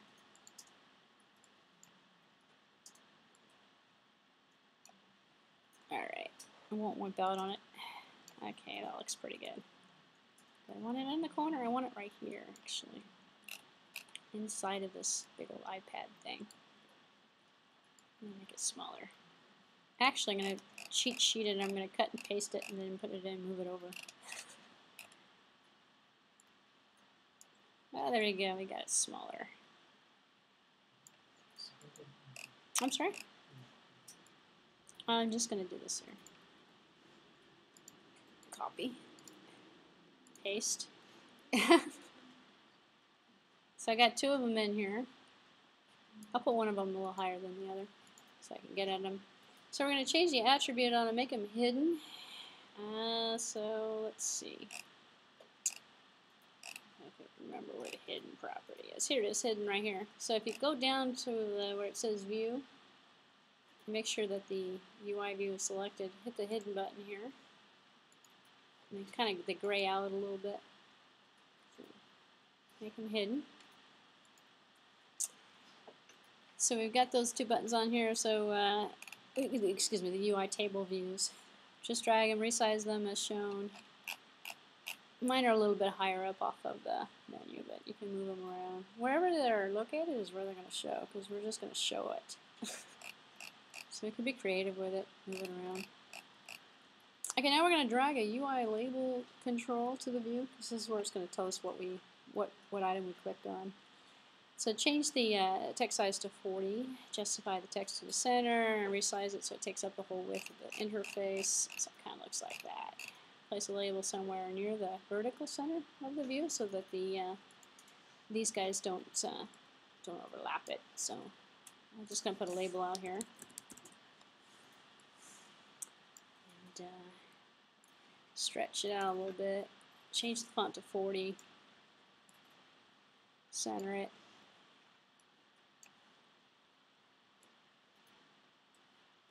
It's about somewhere near the center. Well, let's see. Change the font to about 40. It's 41? 40. Oop, it's going wild. It doesn't really matter what you set it on, actually. Alright, my label looks pretty good. Alright. So let's see, let's see what else we got going on here. So finally, set up the main view's background color to a color of your choice. Well, don't really have to set the background color, but it's nice to see the overlays on top of it. Looks nicer that way, so I'm gonna make mine green. There we go.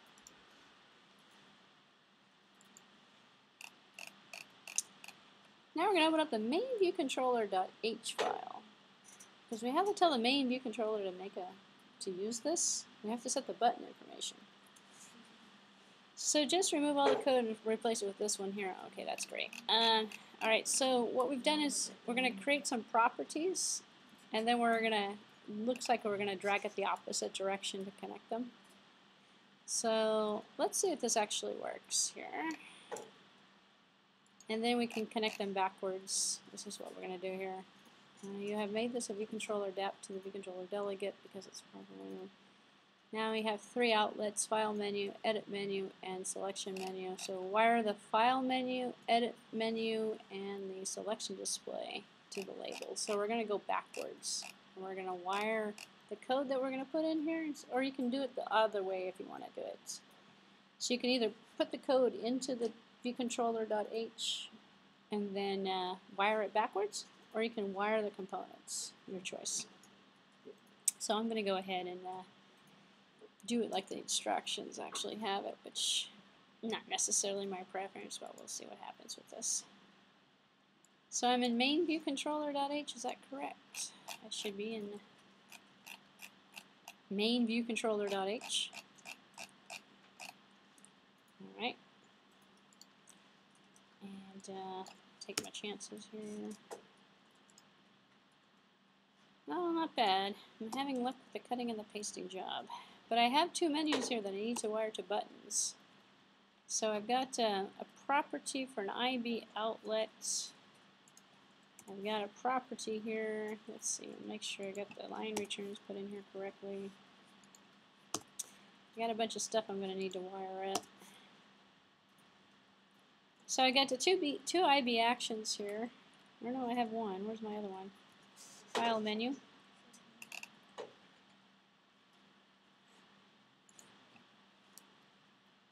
Second one down here, we'll see.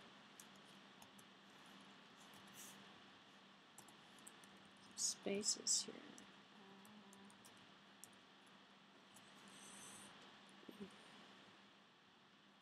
Oh, here it is. The first one. It's interesting order. Oh, that's the that's the um. Ah, here we go. I'm like, where'd it go? There it is, right there. there was word wrapped on the bottom. So I want to have two IB actions that we're going to wire to the button touch events, and then we have these properties that we're going to wire in. Um, we don't have to worry about the arrays because that's going to hold the items that are going to be populated into the view. So if you're doing it this way, you want to go down to the bottom and get rid of this side piece here. And then we're going to right, I'm going to right mouse click on the button, that's the toolbar. So, button bar item. Well, let's take a look here. On the file menu touched, oh, I see what we're going to do here. So we're going to wire the defined two action methods to be fired when the toolbar buttons are touched. So on the file menu button touched item. Then we're going to wire the IB action methods to the sent actions events. So sent actions event is going to be here. So we have uh, sent actions. That's going to be down to the, uh, uh, which one was this one? This was file. So file menu button touched is on sent actions. So we don't have all of the, because uh, this isn't a button button like a UI button. This is a button bar item. So we have different properties for that. So you're wiring the uh, the action sent, which is going to be the selector for it. So we got the edit menu and we got the file menu. And then we're going to have these two views here. Which one is going to be? This is the file menu property. I guess it doesn't really matter which one. I'll make this one the file menu. And I'll make this one the... Ooh, that was the wrong one. Uh, edit menu. No, so I'll make this one the edit menu. Which one was it? This one? Let's see. Second one.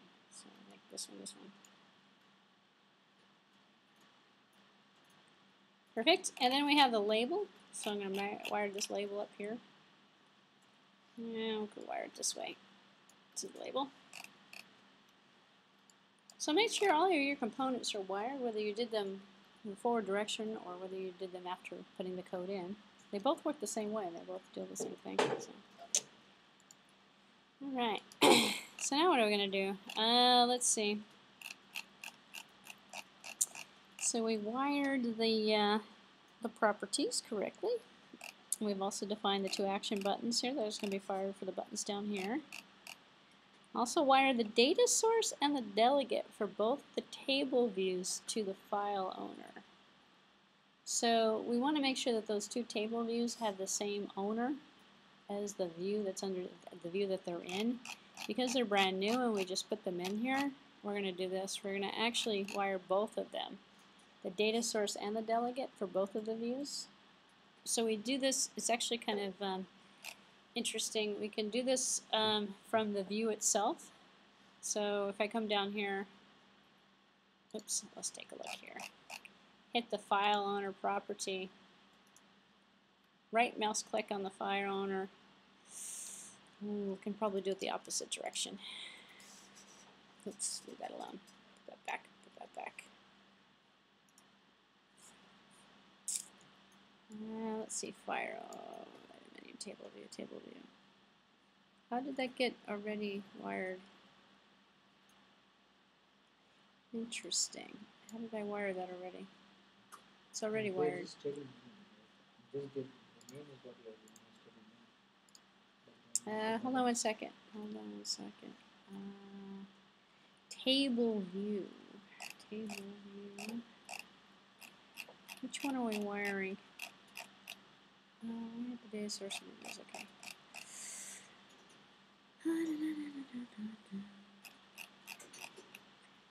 Where the data source and delegate of both table views to the file owner.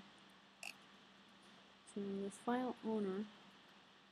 Ah, Ah, on the table view, opposite direction. There we go. so right mouse click on the table view. This is obviously past my bedtime. Drag it over to the file owner. Actually, it's not the bedtime part. So normally stay up a little bit later than this, but I'm exhausted from the weekend. I can't think anymore. So do it for both tables. We want to wire the table views, data source and delegate to the file owner because this guy's already wired. So he already knows about him. So, whoops. I just put one view inside of the other view. Maybe I can edit. Maybe I can undo move table. Undo move table. Undo move table. Ah, good deal. I don't want to put one inside of the other. There we go. So this guy's connected. And this guy's not connected, so connect him to the file owner object.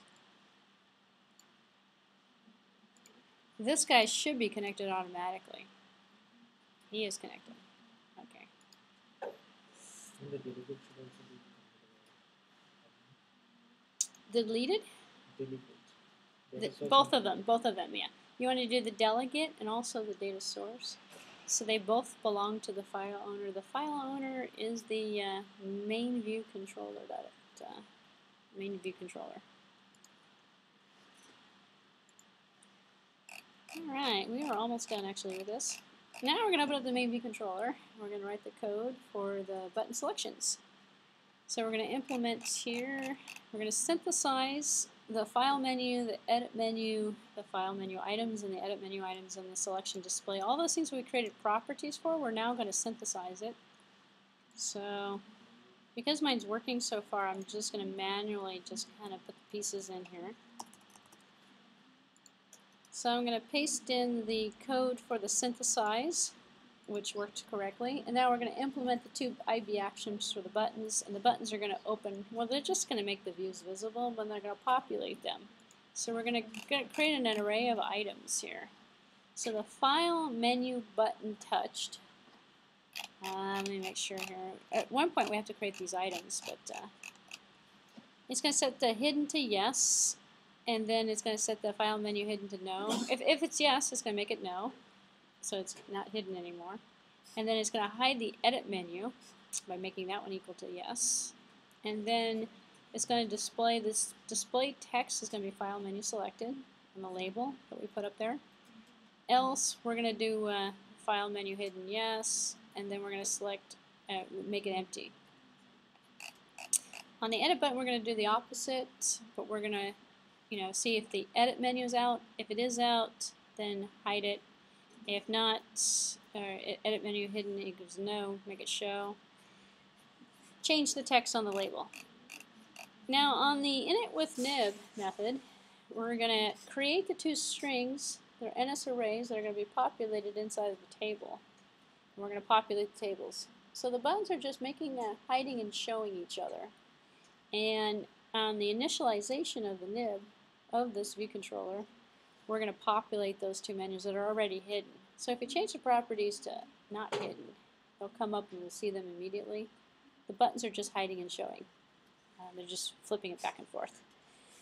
Um, so let's see, on the code here, it's just a regular old NS, NS array. So create the NS array, and we're going to put new, open, saved, etc., and so forth on there. And then uh, for the display, it's kind of crude. We're just taking the index value. We could actually read the text of the index value. Instead, we're just going 0, 1, 2, 3, 4. Kind of the, uh, on the table view, did select row at index, sends us the index, so we're going to do a case switch on it. We're going to create a string and a string of the display string.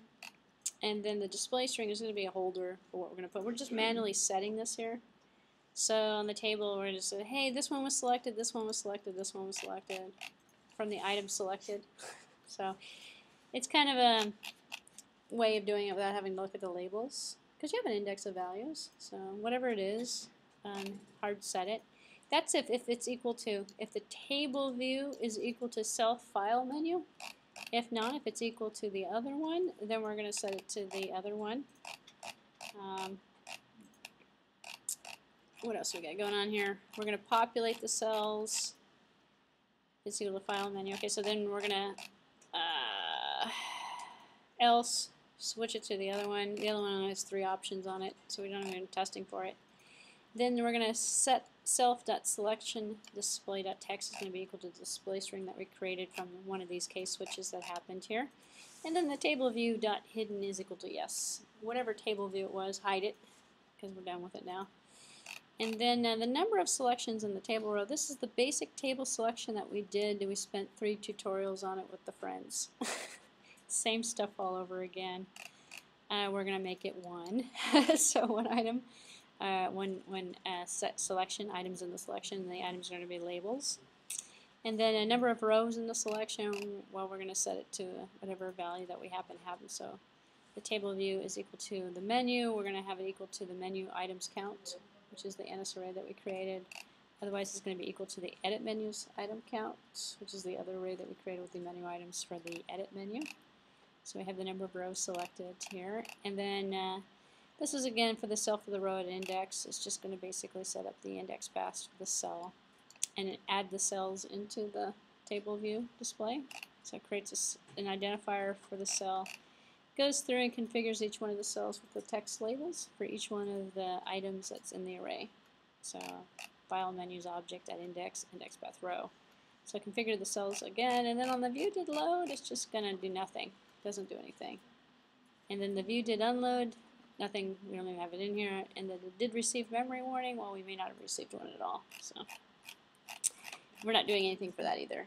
So it's basic table display information that we've seen a couple of times already um, in terms of that. So let's see if I can get this to work. Oops, Now we'll just do it the crude way and see what happens. Don't really need to do the bottom part, they're just empty method calls, but we'll just take them anyway.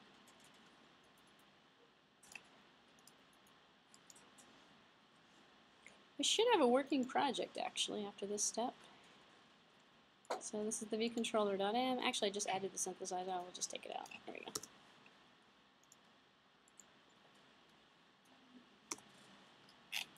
Look at that. No cut. Oh, oh, oh, oh, oh.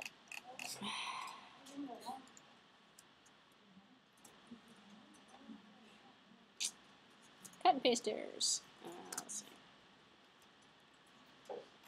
I knew that was going to happen eventually, so let me do this. I'm just going to take it out of the solution file. This is the viewcontroller.m that's going to be uh, problematic. Just leave for me. Mm, you know what? I can just do un delete, undo typing. Just copy. Just leave for me. Just copy the slope. Just I'm sorry? It worked fine. I know, mine didn't work.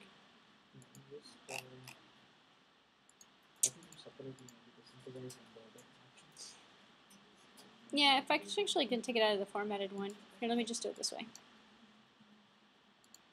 I'll just take it out of this file. For some strange reason on my computer, when I cut and paste it out of the PDF, it doesn't. The line returns end up getting messed up. So let's go here.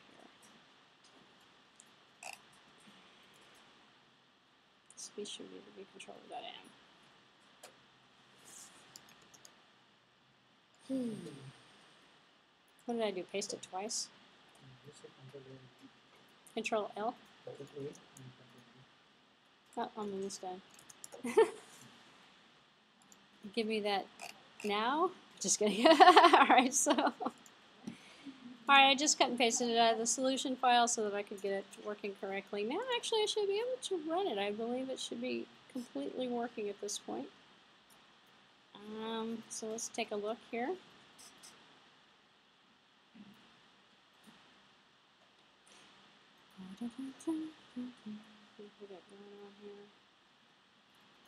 Oh, it's running on my tab. It's running on my uh, iPad device. Here's the label. Let's see if it works here. Yep, it's working. Although my, uh, here, let me take it off of my, it's on my device. I shouldn't have my device plugged in. I had it plugged in earlier for uh, gestures. So let's put it on the iPad simulator. This one is not quite as clean because my menus are moved over to the right. So that, that doesn't look as fancy as the original one. Because I didn't really ever move to the Yeah. left. Actually, I can change the background colors of them and do a bunch of fancy stuff to them. We're just hi- we're just running, uh, hiding and showing them. So. so my label's up too high on this one. So. Basically, I can have uh, they're moved over funny. it's because I was lazy and I didn't like line them up correctly. Actually, I can be real lazy on it. Let's see, play around with it. It doesn't really look like a pop-up menu though when you move it. Uh, when you um, let's do this. Get rid of this one here. When we uh, move it like this. there we go. I'm sorry. oh, you say it's a problem? It's not a pop-up menu. It's not. It's not necessarily a pop-up menu. We're hiding and showing a menu. It's not a pop-up menu now.